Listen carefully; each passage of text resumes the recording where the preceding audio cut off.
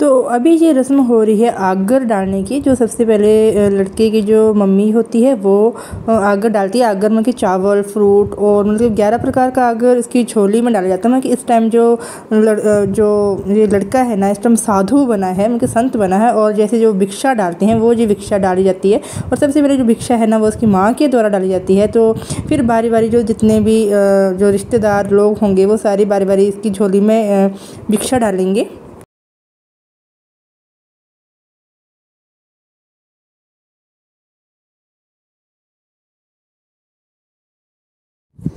और अभी ये जो रस्म है, ये हो रही है साधु बनने की।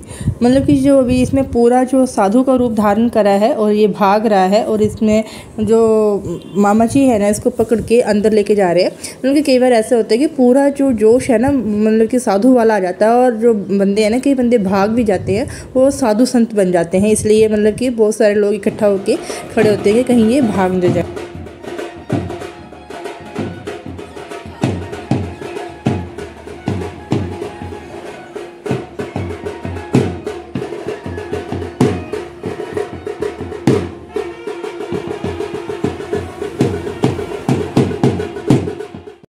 और अभी इसको नहलाया जाएगा लड़के को और जनेऊ ये डाल दिया है, उसके नाना जी द्वारा ये जो नौ, जो है ना, वो पहनाया गया है। मतलब कि आधी रस्में जो है ना, वो नाना के घर से होती हैं इसमें। और ये देखिए, जो आपको ये धागा दिख रहा है ना, इसे बोलते हैं हम जनेऊ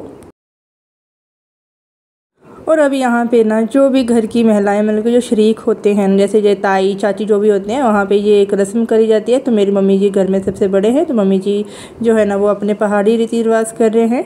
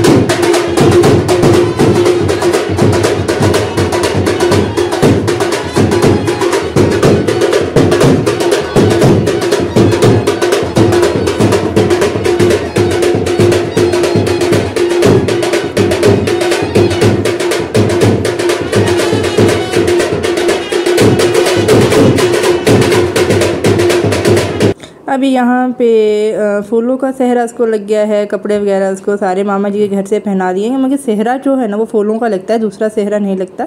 और अभी इसको लगेंगे तमोल, जैसे कि जो मतलब तिलक वगैरह लगाते हैं, वो भी लगेंगे। और बारी बारी फिर इसको सभी ने हार पहनाए लड़के को, और तिलक लगाया, उसको शगन दिया, और इसकी पूजा करी, और ये देखिए, इसको चौंकी के ऊपर खड़ा करके सेहरा पहनाया गया है, और बारी बारी सब अपना जो रीति रिवाज हैं, वो कर गए, कर रहे हैं, और शाम को कांगड़ी धाम का भी लोगों ने पूरा पूरा आनंद लिया।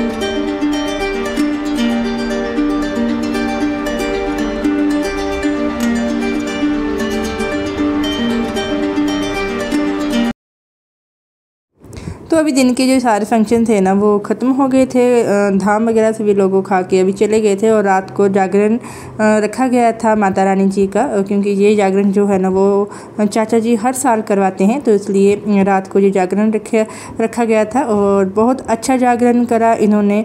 झांकियाँ वगैरह निकाली गई, माता रानी जी, बाबा बादशाह जी की, और यहाँ ये कृष्ण जी और राधा नाच रहे हैं।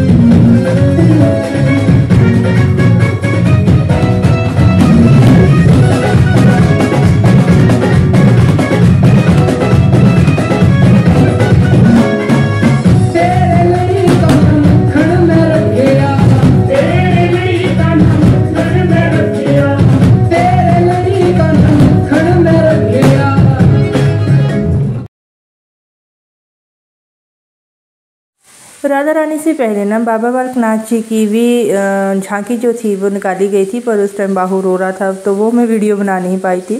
तो मतलब कि बहुत सुंदर जागरण जो है ना उनके द्वारा किया गया।